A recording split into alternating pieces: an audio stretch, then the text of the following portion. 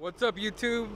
This is Good News Cup. I want to give you a tour of a 1972 P350.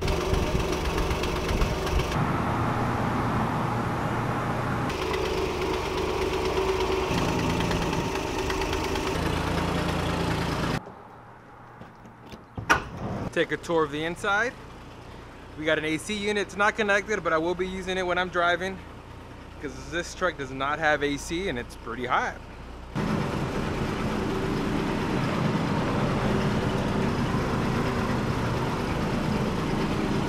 Little cool when I'm driving around doing some errands, test driving it, making sure mechanically everything works. Four speed, I don't know if you can tell, but it is a four speed. Thought about redoing the seat, but I actually kind of like it beat up. And let's take a take a look on the inside, and I'm gonna tell you what I'm gonna do. I'm getting a few things done in here.